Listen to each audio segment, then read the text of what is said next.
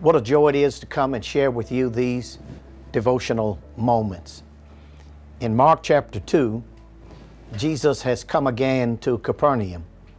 Capernaum has become his uh, home away from home. It is literally the headquarters for the ministry of the Master. He's in a house, some believe to be home of Simon Peter, and it was noise that he was in the house. And the Bible says the house became filled with people. Uh, there was no room to get in, not even around the door. Uh, Jesus is sitting there and he's preaching the Word of God. And while words of grace were falling from his lips, suddenly there was an interruption, a noise overhead. Four men have come bearing a sick friend. They get to the house and they cannot get in. They will not be deterred. They will not uh, uh, be filled with doubt. They will not take literally no for an answer. They will not let this obstacle get in their way. The Bible says they went up on the roof, tore back the roof, and let this man down through the roof. Jesus looked up and saw their faith uh, and said to the man, looks down at the man and says, Thy sins be forgiven thee. Doctors say much about physical illness, that much of it comes from emotional and spiritual problems. That people get sick because of a bitterness in their spirit, an unforgiving spirit holding grudges against other people.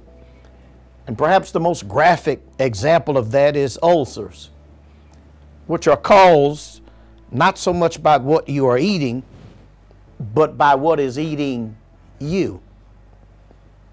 Your problem is not your parents. Your problem is not your spouse or your children or your boss.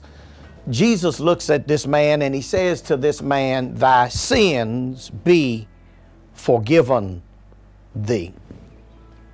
Here is this man who is sick of the palsy to the point that he is no longer mobile. He was crippled and had to be carried. He couldn't walk on his own. He was totally dependent upon others to carry him wherever he, he went. And as the church of the Lord Jesus Christ, we have to always remember that there are those who have to be carried.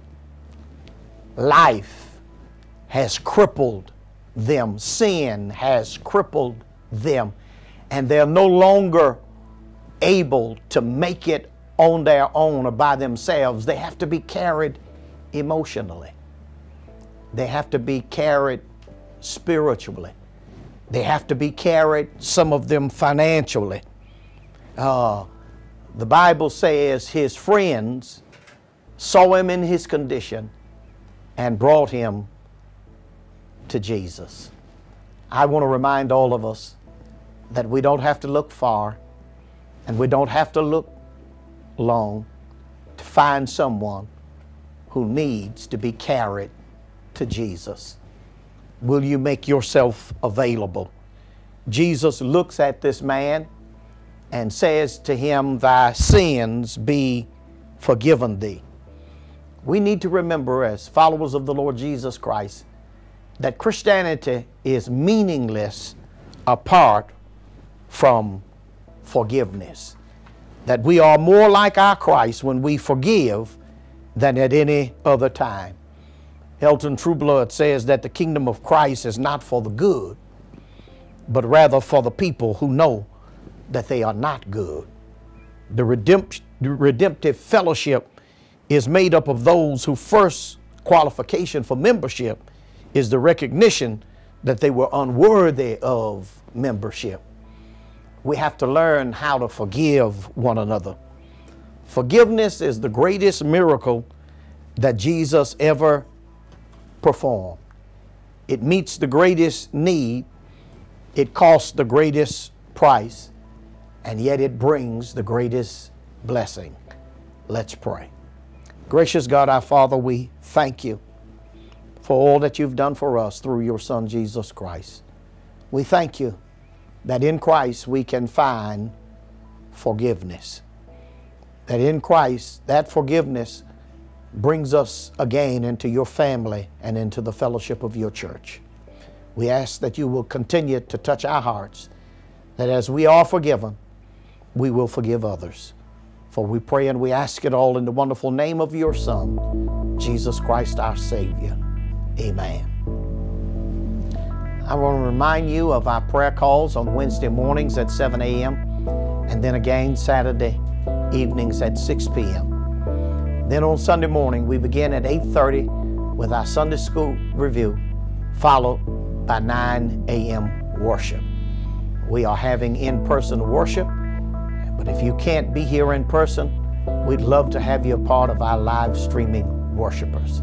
May the Lord bless you and may the Lord keep you is our prayer.